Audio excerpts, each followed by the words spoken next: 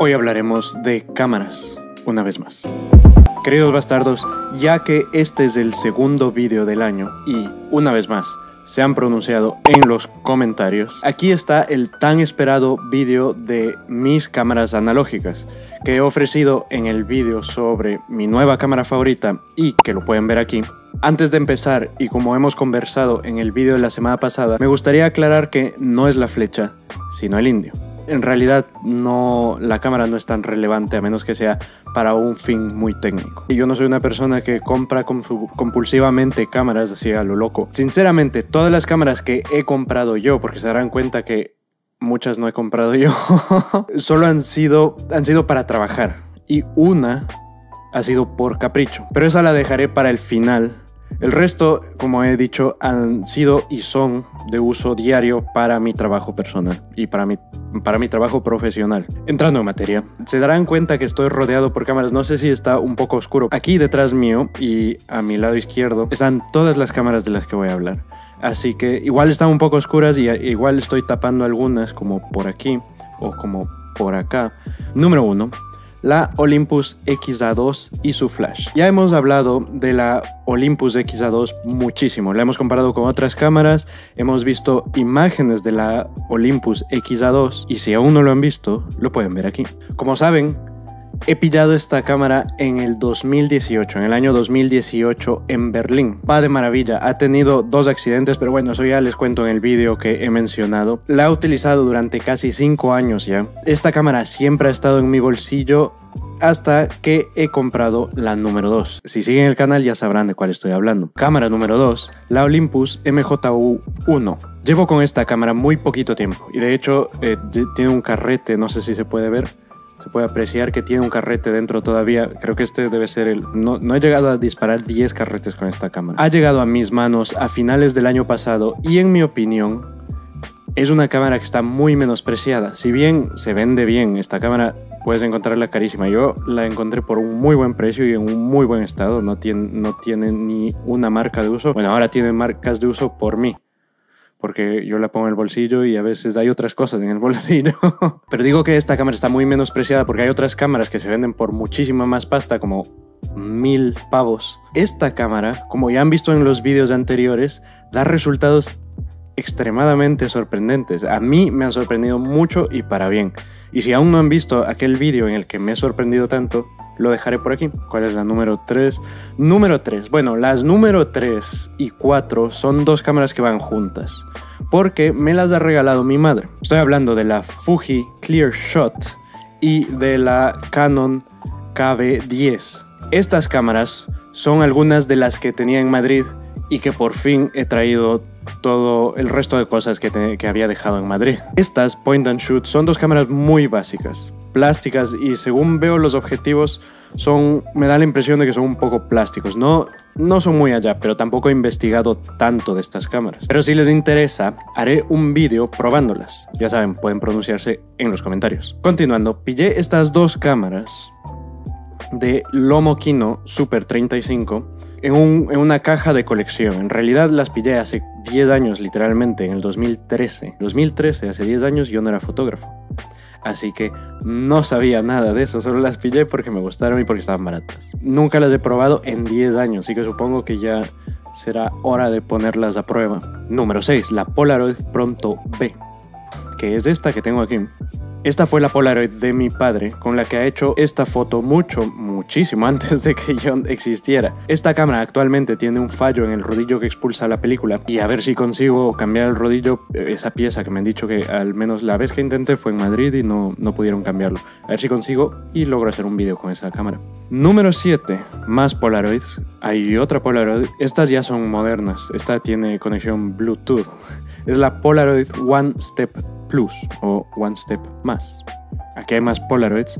Esta cámara negra es la Polaroid One Step Plus y la verdad es que es que va muy bien. No, no he visto ningún fallo sin mencionar la película de Polaroid, que esa es otra historia. Es muy impredecible.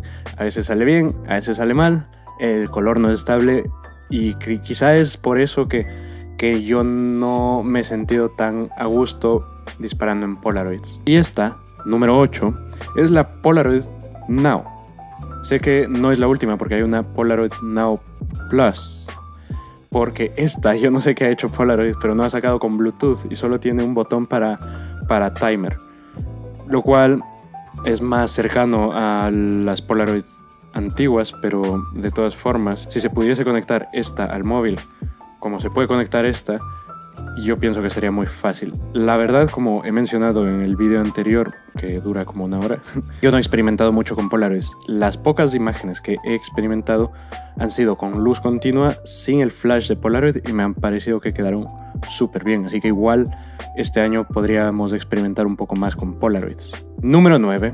Esta es una cámara un poco extraña, al menos para mí, porque yo nunca la había visto hasta que también me regalaron. Estoy hablando de la Werlisa Verlisa, se escribe con W. De todas formas, esta es una rangefinder del 66 fabricada en España. El cuerpo es plástico y no creo que dé muy buenos resultados. Tampoco lo he probado, pero creo que, creo que sinceramente creo que este año tendré que probar muchísimas cámaras porque ahora han venido todas. Y, la verdad está... Mira, ahí está el nombre. No sé si se puede ver. La verdad es que puede ser muy interesante hacer varios diarios de fotografía con diferentes cámaras. Número 10. La cámara Contesa LK. Esta cámara, esta cámara, esta sí la he usado, esta sí la, he probado una vez. Esta es otra rangefinder, pero de fabricación alemana a inicios de los 60, o sea que van por ahí, por ahí. Y se parecen muchísimo en realidad, porque son compactas, rangefinder, solo que este cuerpo sí que es metálico. Y esta sí que es una cámara pesada, no es como la anterior que es plástica y es súper liviano. Esta fue la cámara de mi abuelo tiene un objetivo 6 icon que sería muy bueno si no fuese porque dentro, si se puede ver por aquí, dentro tiene como una deformación, una imperfección, probablemente de algún golpe o alguna caída. Y se puede ver el, el defecto del cristal en el objetivo en alguna de las imágenes. Si están interesados que haga un vídeo con esta cámara también, recuerden pronunciarse en los comentarios. Y ya avanzando, la número 11 mi queridísima Olympus OM2N. Esta ha sido mi primera compra de cámaras analógicas y esta sí que la he comprado y he pagado realmente un precio muy muy muy bajo a comparación de lo que se vende ahora. Esta cámara fue recomendada por mi amigo Javi, como él diría, esta cámara es cremita. El enfoque, el visor, es todo, va, es que va genial. La he pillado en el 2018 como herramienta de trabajo cuando decidí pasarme a la fotografía analógica. Le he dedicado varios vídeos a esta sola cámara, porque gracias a esta cámara tenemos cámaras digitales. Y si quieren enterarse de aquella historia, la pueden ver por aquí. Ahora sí, entrando en el mundo del formato medio, una cámara que está en muy buen estado, la Mamilla C33, que no es mía, sino es de Alex, pero funciona de putísima madre. Y esa sí también la he probado. es una cámara de formato medio, como he dicho, 6x6. Y la he mencionado en varios vídeos. Y quizá vaya siendo el momento de dedicarle un vídeo porque solo la he mencionado y muchas veces ha salido como detrás mío. Pero va siendo ya tiempo de dedicarle un diarios de fotografía a esta cámara, porque en realidad los objetivos están muy bien, no tiene hongos, no tiene haze o como sea que se diga eso. se ven las imágenes se ven muy claras y quizá ya va siendo tiempo. Finalmente, de, hablando de formatos medios, mi mía RZ67, pero bueno, no finalmente, porque la, la siguiente es el capricho del que he hablado y ya les contaré la historia de aquel. Pero esta cámara también conocida como el tanque. Esta cámara es la que utilizo para trabajar. La he pillado como hace cuatro años o ya van a ser cinco años con esa intención. Y es mi principal herramienta de trabajo. También le he dedicado un review, o creo que dos, y lo pueden ver por aquí. Hace tanto tiempo que he hecho el review que igual debería hacer un review actualizado de esta cámara, porque ahora la controlo como se controlaban los móviles Nokia, con una sola mano y con una sola mano enviabas un mensaje o jugabas Snake. Así, porque en aquel momento no la controlaba tan bien. Además, ahora tengo más juguetes para la mamilla RZ67, como este objetivo de 127 y este objetivo de 90 milímetros. Y no solo eso, sino también tengo otros backs para disparar otros colores, yo que sé, estoy, por ejemplo, en muchas sesiones disparo blanco y negro y color a la vez. Entonces voy cambiando los backs y tengo el back de Polaroid para Mamiya RZ67. Y como lo prometido es deuda, la única cámara que he comprado por capricho, ya siendo fotógrafo, porque como he explicado, estas camaritas, cuando las compré, cuando las pillé hace 10 años, yo ni siquiera, ni siquiera no era fotógrafo. También se trata de la única cámara que he vendido. Porque incluso a día de hoy, en mi casa, en, casa de mis padres, está la primera cámara que utilicé para hacer fotos en la vida, en el año 2005. Y, y no era ni fotógrafo, eran fotos de familia. Y la única que he vendido ha sido esta, la Nishika N9000. La he vendido porque la calidad es malísima, es una toy camera y sinceramente las fotos son de medio frame de un cuadro de 35 milímetros. O sea, si ya el 35 milímetros es pequeñito, imagínate el medio, medio, la mitad de eso para una imagen. La calidad cae muchísimo. A ver, tiene el efecto 3D, si es que, pero además muchísimo trabajo porque tienes que revelar, tienes que escanear las imágenes y ponerlas juntas y armar un GIF para que se pueda ver el efecto 3D de la cámara 3D.